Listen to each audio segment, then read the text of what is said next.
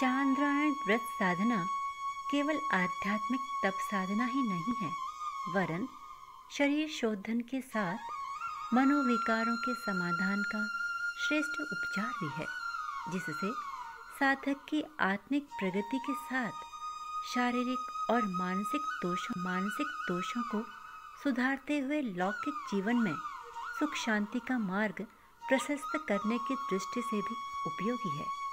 पंडित श्री राम शर्मा आचार्य। पुस्तक का नाम चांद्रायण कल्प साधना पुस्तक परिचय। कल्प के अनुसार पंचकर्म चिकित्सा द्वारा शरीरगत मलों का निष्कासन किया जाता है। इससे शरीर की शुद्धि होकर नए उपचार की पृष्ठभूमि बनती है। यही सिद्धांत आध्यात्मिक कायाकल्प पर भी लागू होता है कि एक प्रकार की चेतनात्मक कायाकल्प चिकित्सा है। चांद्रायण कल्प साधना को एक प्रकार की आयुर्वेदीय कायाकल्प उपचार के समान समूचे व्यक्तित्व का संशोधन, संवर्धन करने वाली प्रक्रिया भी कह सक, प्रक्रिया भी कह सकते हैं। मैले कुचैले मन को साफ़ करने की, है स्थिति को श्रेय में बदलने की गिरी गंदी ज़िंदगी का कायाकल्प जैसा परिवर्तन करने की, कपड़े धोने जैसी सरल और चमत्कारी विधि। सबसे सबसे पहले गर्म पानी में कपड़े को डालें, अर्थात अपने गुण, कर्म, स्वभाव की मलिनताओं को समझें। इस जीवन में किए हुए पापों का स्मरण करें और उन्हें छोड़ने के लिए प्रबल तड़पन उत्पन्न करें। इसके बाद बुलाएँ। अर्थात, अपनी जो बुराइयाँ, भूलें, पाप कृतियाँ छिपा कर रखी थी, उन्हें प्रकट कर दें। मन में दुराव की कोई गांठ न रखें। भीतर और बाहर से एक जैसे हो जाएँ। उसके बाद साबुन लगाएँ।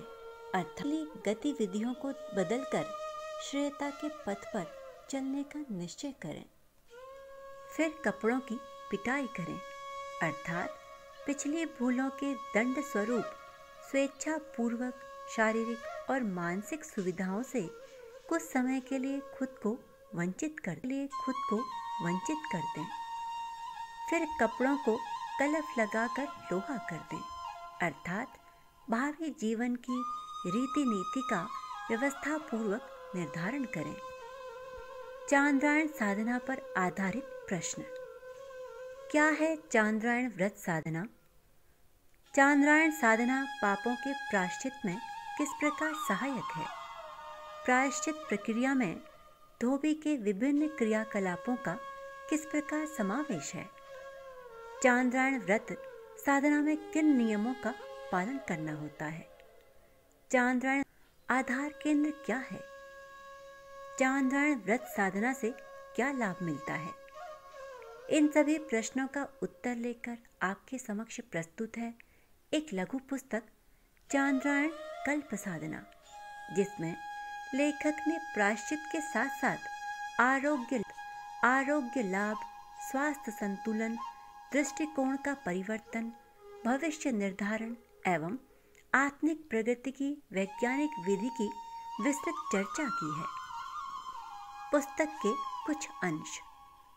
चांद्रायण साधना को व्रत, तप एवं नाम से भी जाना जाता है। व्रत अर्थात संयम, अनुशासन, निर्धारण एवं परिपालन।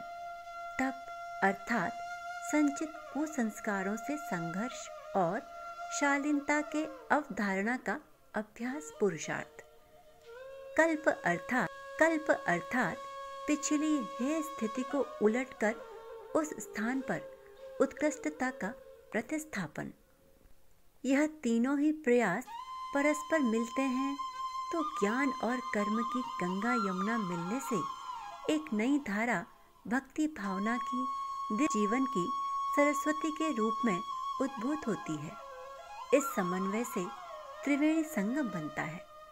उसका अवगाहन करने वाले इस धरती पर स्वर्ग का आनंद लेते हैं, जीवन मुक्त बनाते हैं। और मनुष्य रूप में देवता कहलाते हैं। इसी इसी परम लक्ष्य की पूर्ति करना आंतरिक कायाकल्प साधना का आधारभूत उद्देश्य है। चांद्रायण का सर्वविदित नियम। पूर्णिमा से अमावस्या तक भोजन घटाने तदुपरांत क्रमशः बढ़ाते हुए अगली पूर्णिमा को नियत मात्रा इसमें मन का कठोर संयम जिस प्रकार संभव हो पाता है, वह अन्य साधनों में नहीं है। आहार साधना के अतिरिक्त तब तितिक्षा में प्रायश्चित की चर्चा की जाती है। इसके बिना अपना मन अंतकरण धोए, विगत को धोए, विगत को भुलाए बिना साधना मात्र बाह्योपचार भर रह जाती है।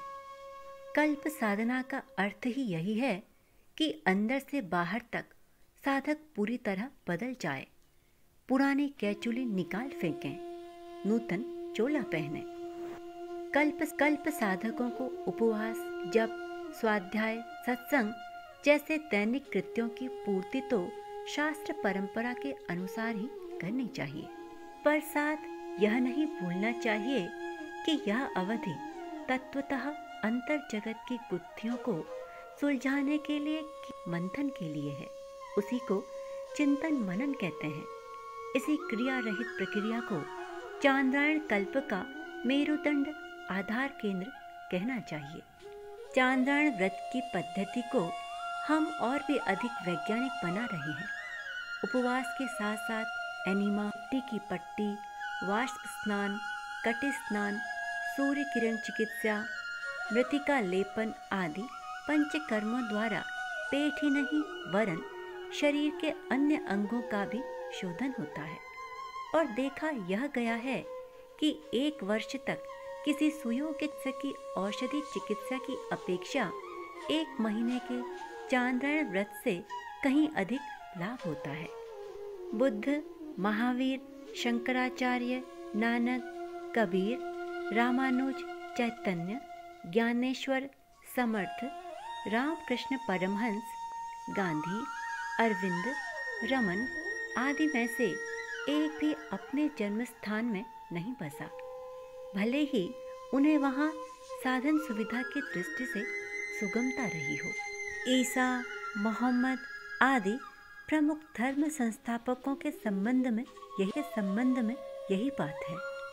उन्हें जन्मभूमि से प्रेम न रहा हो, ऐसी बात नहीं, पर परिस्थिति का मन स्थिति पर जो प्रभाव पड़ता है और उसके कारण लक्ष्य की ओर गतिशील होने में जो व्यवधान पड़ता है, उसे देखते हुए दूरदर्शिता ने यही सुझाया कि स्थान बदलकर ही महान कार्य संपन्न करने में सुविधा होती है। धर्मशास्त्र में पाप निवृत्ति और पुण्य प्रवृत्ति दोनों उद्देश्यों को पूरा करने के लिए उपयुक्त साधन चांद्रायण तप बताया गया है और पुण्य प्रक्रिया के पाँच प्रमुख भाग यह हैं। पहला, एक महीने तक आहार के घटने बढ़ाने वाला उपवास। दूसरा, गुप्त पापों का प्राकटीकरण तीसरा, आंतरिक परिवर्तन कर सकने वाला वातावरण में निवास और अनुशासन का पालन। चौथा, अंतकरण को परिष्कृत करने वाला योगाभ्यास युक्त तप साधन। पांचवा, दुष्कर्मों की क्षतिपूर्ति और पुण्यवर्धन की परमार्थ परायणता। इन्हें पूरा करने से चांद्रायण तप संपन्न होता है। कल्प साधना के साधक यदि श्रद्धा, प्रज्ञा एवं निष्ठा का समुचित समावेश करते हुए उनकी साधना में संलग्न रहें तो वे अपने में आश्चर्यजनक परिवर्तन का अनुभव करेंगे। काया रूपांतर तो कठिन है। उसे दुर्बलताओं और रुग्णता से ही एक सीमा तक उभारा जा सकता है। परिवर्तन तो सदा अंतराल का ही होता है। इसी आधार पर शुद्र को महान, नर को नारायण, पुरुष को पुरुषोत्तम बनाने का अवसर मिलता है। पुस्तक के कुछ बिंदु। चांद्रायण साधना उपचार और अंतर्मुखी दर्शन। कल्प साधना का उद्देश्य और स्वरूप।